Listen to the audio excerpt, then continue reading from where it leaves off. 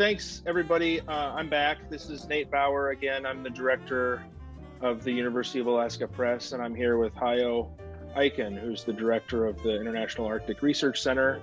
The book we're talking about um, here is called Community-Based Monitoring in the Arctic. Um, it's a it's a big collaborative work, and it's something that is uh, it's a new publication. It's just out this year. It's, it's exciting to me. It's thrilling actually, as a member of the public, when I see and experience a project that is that has an explicit focus on on bridging uh, the gaps that exist between uh, research and, and academia and uh, practical lived conditions of, of people.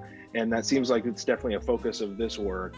Um, the the name it's in there in the title of the book community based monitoring is maybe something that not everybody is familiar with can you describe what community based monitoring means sure yeah so community based monitoring is monitoring those are sustained longer term observations of environments or, or other environmental variables in this case in the arctic um, and they're not being conducted in the usual sense where you have university researchers or government researchers who are sitting outside of the Arctic often, or certainly outside of Arctic villages, Arctic communities, Arctic networks.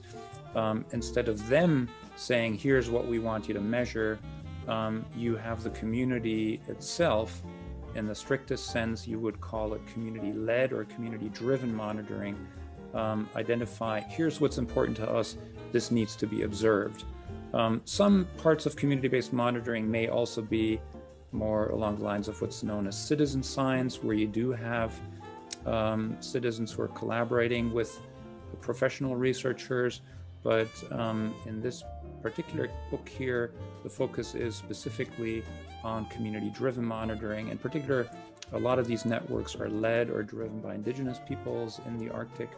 Um, and so it's, it's an important aspect of understanding Arctic change, uh, also in a much more holistic fashion at the local scale, the scale of each particular community, um, uh, as compared to more of the way the university type research would go in and start to sort of try to pull things apart and just focus on one particular element without really understanding or knowing the broader context. Fascinating stuff, Hajo. Thank you, thank you so much. Thanks for your time. Um, thanks for your contributions uh, to this volume and, and to your work um, on behalf of the university, on behalf of the press.